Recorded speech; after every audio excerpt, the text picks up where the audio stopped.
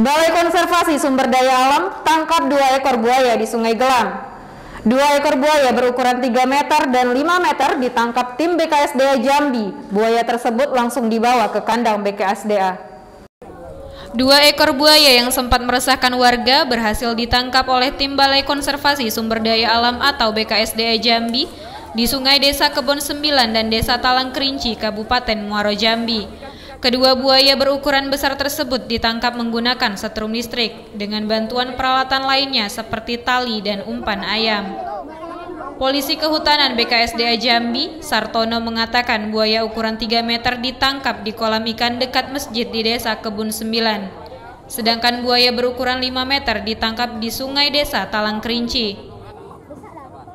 Ya, tiga buaya ya? Sudah tiga buaya.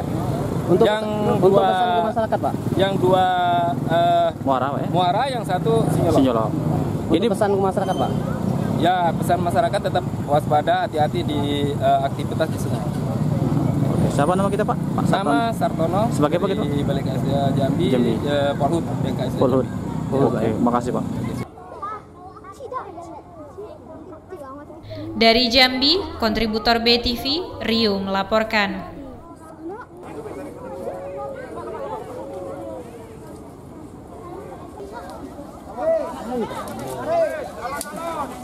Asu, dalam pasu.